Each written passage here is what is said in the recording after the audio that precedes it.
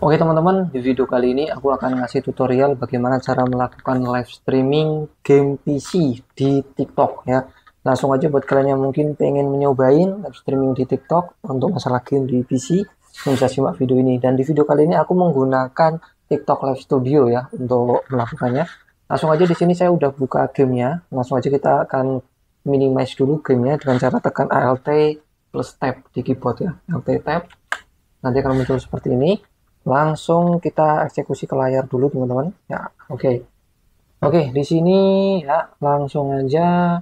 Aku menggunakan aplikasi TikTok Live Studio ini ya. Aplikasinya itu seperti ini teman-teman. Nanti bakalan kita setting di sini untuk gamenya. Nah untuk mendapatkan TikTok Live Studio ini kalian bisa download di Google ya. Atau kalau enggak kalian bisa masuk dulu ke Google Chrome kalian seperti ini. Langsung aja masuk ke akun TikTok kalian tiktok.com gitu aja nanti di akun kalian klik di pojok kanan atas. Kemudian ini ya. Kemudian view profil kalian. Nah profil kalian kan seperti ini misalnya. Kalau udah kita klik icon kita di pojok kanan atas lagi nanti ada tulisannya live studio. Di sini ya live studio. Kelihatan nggak? Nah ini live studio kita klik. Nanti akan muncul seperti ini. Nah nanti kita bisa langsung aja free download for Windows Nah ya, kalau udah ke download langsung aja kalian install seperti biasa menginstal aplikasi biasa. Ya langsung aja ini saya skip cara installnya, uh, anggap saja ini udah saya install ya. Nah, tampilan dari TikTok Live Studio itu tampilannya seperti ini teman-teman. Kita full screen ya. Oke, seperti ini. Nah, di TikTok Live Studio ini teman-teman ya, di sini untuk scan-nya itu ada dua macam. Kita bisa setting landscape maupun yang portrait kalau portrait nanti tampilannya kan seperti ini. Terserah mau pilih yang mana. Kalau saya misalnya mau pakai yang uh, landscape aja. Landscape ini ya. Landscape. Kemudian di landscape ini kan tampilannya seperti ini. Nah kita pilih add source. Nah di sini add source kita pilih yang game. Kalau kita game berarti kita pilih yang game capture. Nah di sini di sini kita langsung aja select game. Kita pilih gamenya. Nah, saya lagi mainin game Warcry misalnya. Ini ya langsung aja kita klik add source. Ini lagi menunggu teman-teman ya. Nah ini udah tampil gamenya. Ini gamenya udah saya buka dari tadi ya. Cuma saya minimize saja. Nah kemudian di sini untuk menambahkan webcam misalnya ya kita pilih add source lagi. Kita pilih kamera. Ya, ini kamera. Nah tampilan kamera kan seperti ini ya. Ini kamera di sini ya. Kita pilih sumber kameranya ini saya pilih USB kamera ini nama kameranya teman-teman ya nah ini udah nongol seperti ini untuk webcamnya kita bisa atur ini misalnya backgroundnya mau pilih foreground nah nanti akan jadi seperti ini keren ya oke tanpa grayscale udah bisa jadi kayak gini Oke, kita pilih kamera. Ini posisinya bisa kita atur teman-teman di sebelah mana. Misalnya mau taruh sebelah sini ya. Gedein. Seperti ini misalnya digedein segini ya. Taruh sebelah sini itu bisa. Seperti ini misalnya ya. Nah di sini kita bisa menambahkan yang lainnya juga teman-teman. Di sini kan scan nih kita masih bisa klik add source lagi. Kan sampai 20 kita bisa menambahkan yang lainnya. Bisa mau tambah image text goal dan lain banyak sebagainya link dan sebagainya lah ya. Ini sebagai contoh saya mau pilih goal aja. Ini kita misalnya mau target goal kita misalnya 100 Oke, seperti ini. Klik air source.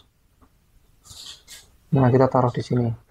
Ini biar orang yang lihat itu paling enggak, wah bisa ngasih kita bintang apa-apa gitu ya, kayak gini. Kita bisa nambahin lagi out source, macam-macam mau tambahin apa teman-teman yang di sini ya.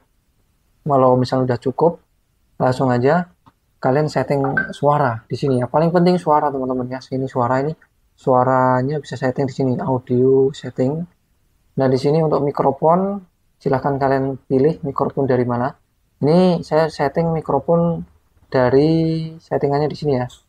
Default itu dari default itu kan saya uh, settingan dari sini webcam itu langsung dari webcam ya mikrofon.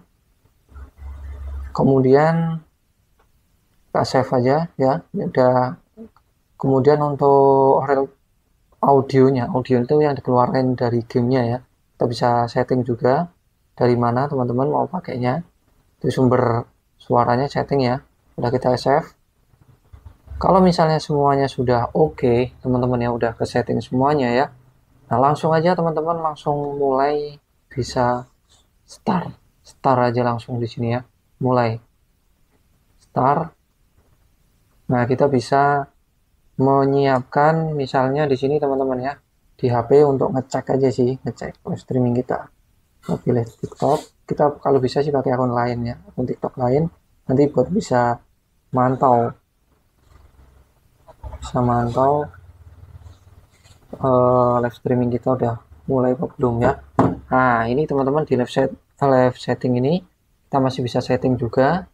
Uh, cover image-nya mau disetting enggak kalau enggak auto screenshot aja nggak apa-apa topiknya misalnya gaming.